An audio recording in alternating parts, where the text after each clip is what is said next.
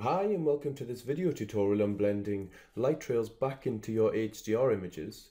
Today we're going to be working with this image of um, Millau Viaduct and as you can see to the right we have some light trails going through the bridge and on the HDR image after using Photomatix um, we, we're left with this kind of tear in the space-time continuum. It's a very unusual kind of output.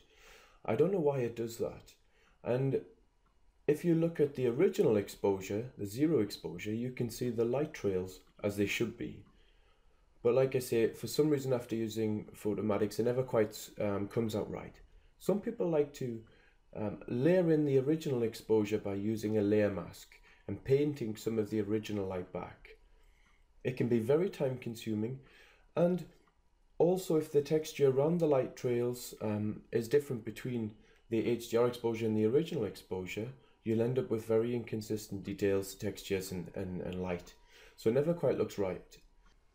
The best way to do it, um, the quickest way, is simply by going down to your blend mode option in the layers panel, um, left clicking on normal and changing the blend mode to, um, oh this is the original exposure on the top, that's very important.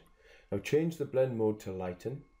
What's happened there, if I just go into the HDR image now and I make the original exposure visible, Everything on the HDR image um, at the bottom has stayed the same, apart from the light trails, as you can see. Now, what's actually happened here? We've asked Photoshop to look at the two images, to look at the zero exposure and compare it to the HDR image, and to keep everything in the original exposure that is brighter than in the HDR image. Um, so in order to make this work, you, we have to have our HDR image slightly brighter than the zero exposure, apart from in the areas um, where the light trails are. So the best way to do that is just to raise the gamma in Photomatix. It's very easy.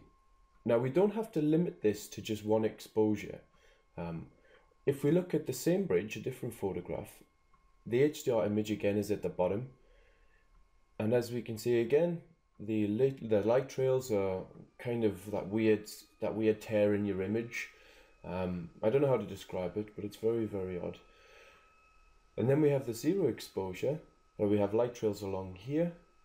This is the minus two exposure, where we have light trails here and here. And the plus two exposure, where we have light trails at the back, right at the end. I don't know if you can see it. It's right there.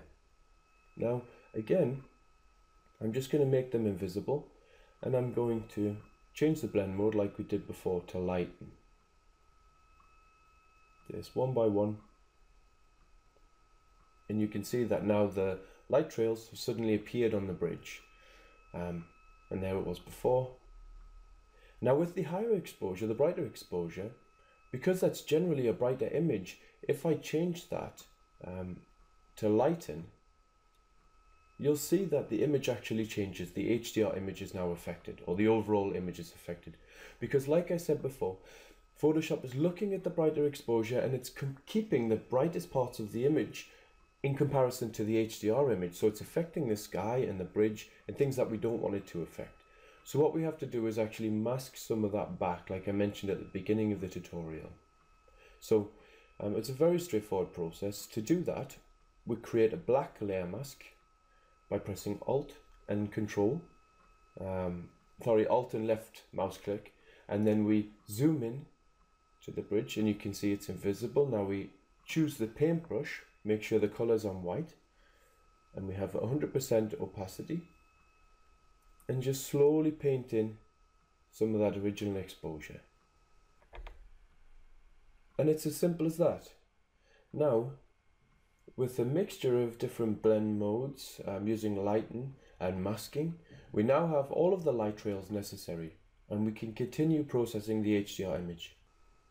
It really is just um, that simple and this technique isn't limited just to light trails. You can use it with fireworks, with laser shows, anything where you're trying to bring in a brighter part of an image that isn't encapsulated in the HDR image. And this isn't limited to HDR photography. You can do it with any type of imagery. So I hope you found this useful and it's the first of many video tutorials so by all means subscribe to my YouTube channel or follow me on Facebook and Google+. Thank you very much.